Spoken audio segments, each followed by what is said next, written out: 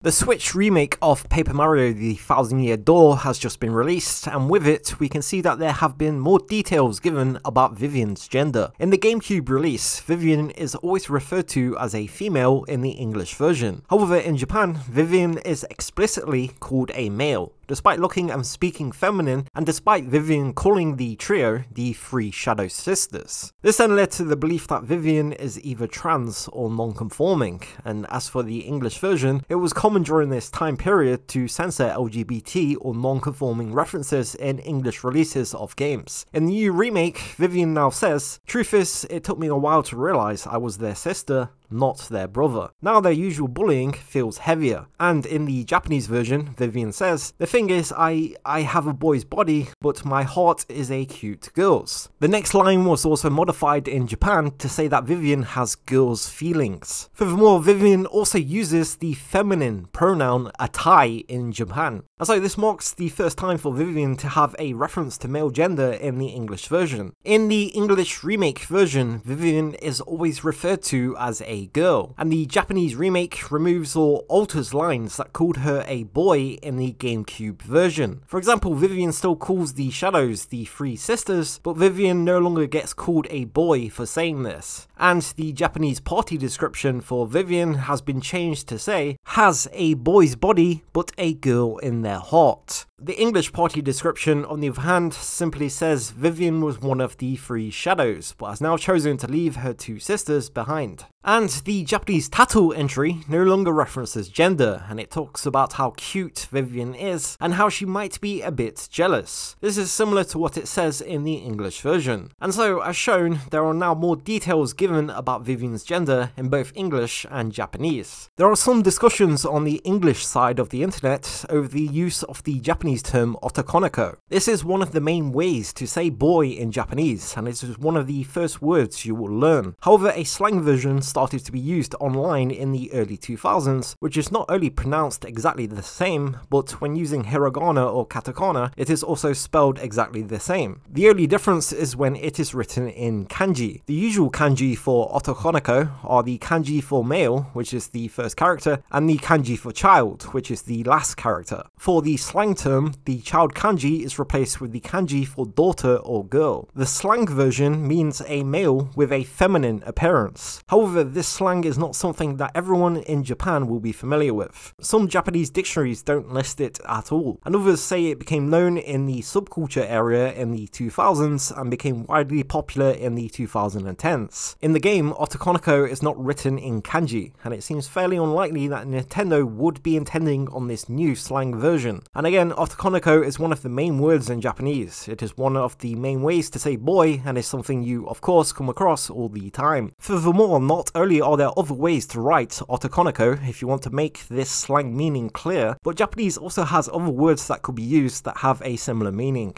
And then finally, in the GameCube version, Vivian was called other things than just Otokonoko, including being called Otoko, which is one of the main ways to just say man, guy or male, as well as being called Ototo, which means younger brother. As always, let us know your thoughts in the comments below, and until next time, thank you for watching.